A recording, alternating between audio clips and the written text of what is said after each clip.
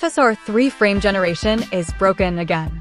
But what if I told you there's a way to enable Intel's XeSS frame gen on any GPU, even your old GTX or RX card, and it's smoother than FSR 3? Let's unlock Intel's XeSS frame generation right now in Cyberpunk 2077. No ARC GPU needed. Intel just released XeSS 2.1.0, and it changes everything. Until now, you needed an Intel Arc GPU to enable frame generation. But this update unlocks frame gen support for all GPUs, NVIDIA, AMD, doesn't matter. I'm going to show you exactly how to enable XeSS frame generation in Cyberpunk 2077, step by step. And trust me, it absolutely destroys FSR 3's input lag issues. 1. Download XeSS SDK 2.1.0. First, go to the official Intel GitHub page. I'll leave the direct download link in the description below. Look for XeSS SDK 2.1.0.zip and download it. This file contains the magic we need to unlock frame generation on any GPU. Once downloaded, extract the zip using WinRAR, 7-zip, or any extraction tool you prefer. 2. Locate and copy the required files. Inside the extracted folder, go into the bin directory. You'll see a lot of files here, ignore most of them. The only files you need are the last four files in the list. Select and copy them. These files contain the updated XeSS runtime libraries we'll use to replace the existing ones in Cyberpunk 2077. 3.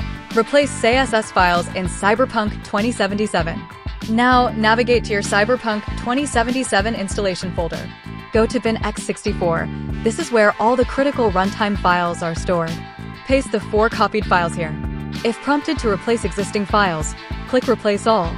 This effectively upgrades Cyberpunk's XeSS implementation to 2.1.0, unlocking frame generation options. 4. Enables XeSS frame generation in-game. Boot up Cyberpunk 2077. Head into Graphics Settings and scroll down to Frame Generation.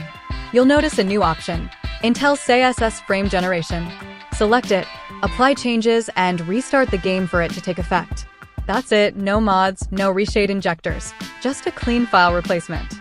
FSR 3 versus XeSS frame generation. Now here's where it gets interesting. With FSR 3 frame generation enabled, Cyberpunk shows 60 plus FPS on screen, but it feels like a choppy 30 or 40 FPS. You felt that input lag, moving the camera feels sluggish and animation stutter. Switch to XeSS frame generation, and immediately, you'll feel the difference.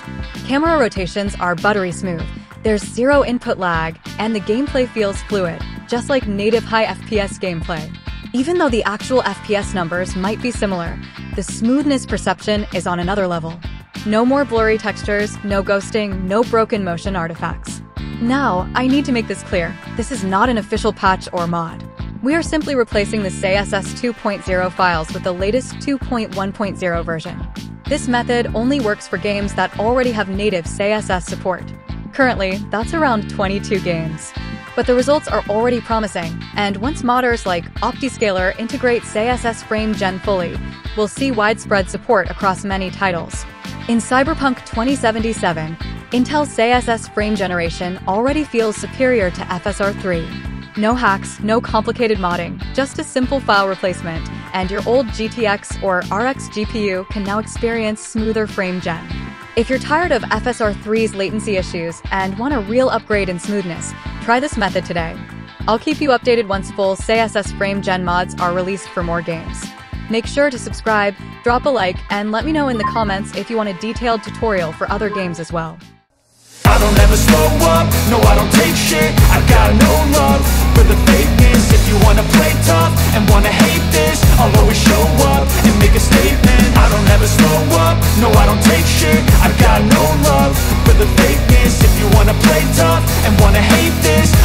show up and make a statement